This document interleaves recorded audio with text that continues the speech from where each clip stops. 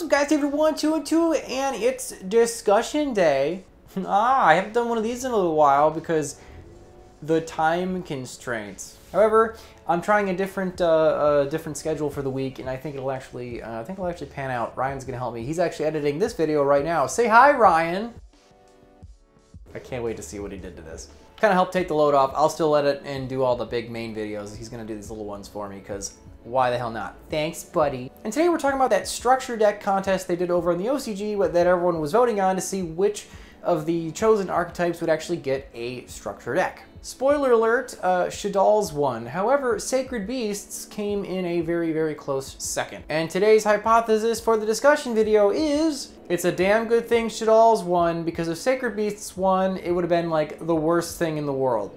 I can hear the angry clackings of keyboards as we speak. However, I'm splitting this into two major parts to explain my point of view, and then I want you guys down in the comments to argue your ever-loving lives out against me because that's what we do in my discussion videos. We actually discuss. Why do I, Davinator1, 2, and 2, think that it's good that Shaddolls won and good that Sacred Beasts lost?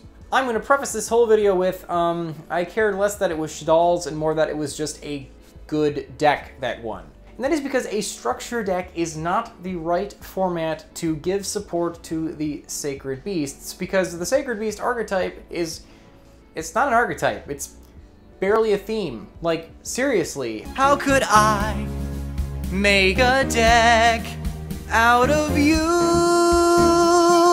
There are disparate effects for three different boss monsters meant for three different decks. One a trap heavy deck, one a spell heavy deck, and one a specifically heavy fiend monster deck. Shoving the, all three of them into the same deck is next to impossible. Just because you can fusion summon them into one monster doesn't mean they were ever really truly intended to be played one, in one deck. It's already on pretty dubious terms that we could even create cards to make these things work in one deck, and I don't think a structure deck is the place to do this. Normally when we get a structure deck, the structure deck's like for an existing archetype or whatever and just introduces the shiny card on the front plus a few other shiny cards as new support. Then the rest is normally just reprints of other cards in the archetype and then followed up by some choice reprints of tech cards and then another copy of MST. Very rarely is a majority of the structure deck new cards, so it'd be very unlikely that a structure deck centered around Sacred Beasts would be enough new cards to make the deck work because four cards is not going to fix these things. So at best, it's going to make them kind of playable, eh, and then it'll, it'll just flop. And we've noticed that the most successful structure decks are actually structure decks that are successful competitively. Whether it, you want to play competitive or not, it's nice to know that when you spend $30 on three copies of a structure deck, you could mush them together and make something that will do really, really well. Soulburner comes to mind, the Monarch structure deck, the Hero structure deck, and again, most of these did not introduce a ton of new cards. It was just like a couple, and then the rest were cards we already had. I don't think a structure deck is the right environment to support the Sacred Beasts. They could probably use 10 cards or so, and like that'd be better served for like a deck building set, like one of those, uh, uh, like the Battle Legends, probably. Actually, Battle Legends would be perfect because it's got a lot of anime cards and stuff in it. And that's just getting them to work. Think about this. Those three boss monsters, the Sacred Beasts, aren't even that great. They're okay. And if you fuse all of these monsters together, you get a really bad fusion monster. That's just a humongous beater that doesn't do anything. They would need retrains of the fusion monster, probably some sort of way of fusioning them out, maybe cards that like a, a continuous spell that when you play it, it some it like plays two other copies of itself from the deck to the field. Like it had to be a, a bunch of just, and that's just to get these things on board. Once you get them on board, you need a reason to want to do that. You like you got to bolster their effects with some support or even retrain the Sacred Beast. I don't know. It's going to be a massive undertaking in order to get these to work. So yeah, point one, structure deck. Not the way to do this. Point two, and probably the most important thing, is that Konami actually asked us, the player base, What do you want? What do you want? It's not that simple. What It's do you want? a structure deck for. They never ask us anything. So why would, in, in, in any stretch of the imagination, would you guys want to waste an opportunity like this on something that you guys know would not be competitively viable? It would just be a, a cheesy fun deck. No! There are so many other good archetypes that are just like one or two cards away from being brought back into the competitive scene. Something like Shaddolls, where there is a fundamental a strategy built into the archetype. It's a cohesive engine with an objective that's trying to accomplish. It just needs a few cards in order to speed it up to modern standards. That is what you can build upon in a structure deck. And if you do that, that structure deck will be competitively viable and then therefore successful. And we want the structure deck to be successful, so Konami does this again. We need them to create something that is good, that will sell well, so that they can see in their money heads that, oh, look, we asked the player base, they gave us a good suggestion, and then they proceeded to buy it. We should ask the player base questions more often instead of just pretending like they don't exist.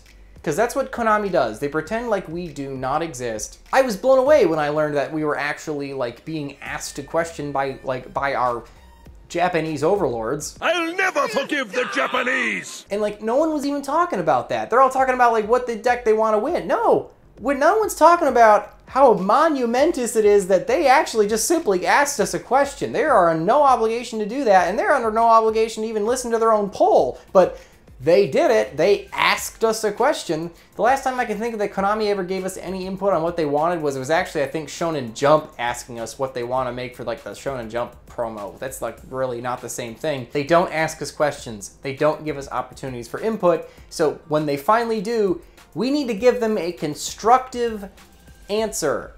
Shaddolls is a very constructive answer because the player base will buy that up and it'll do well. And it'll behoove them to do this again third or fourth starter deck, structure deck, whatever you want to call them, in, we can start asking for dumb crap to have fun. But the first couple need to be good, so they keep doing this.